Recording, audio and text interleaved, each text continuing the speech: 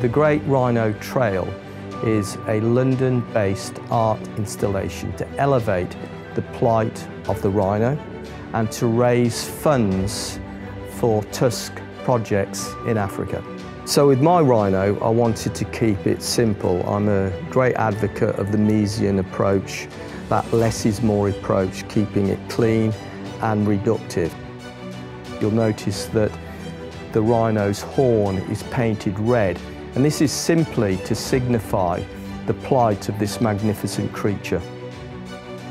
I wanted to highlight its immense proportions by using a chrome finish. Here at Land Rover we've created what we call um, liquid metal which is a modern day equivalent of chrome which is highly sustainable and incredibly innovative. It also has highly reflective qualities and part of the idea of using this finish was for the Rhino, wherever it's situated in London, to reflect the environment that, it, that it's in. Land Rover supports Tusk's desire to achieve sustainable conservation where people and wildlife can coexist across the African continent.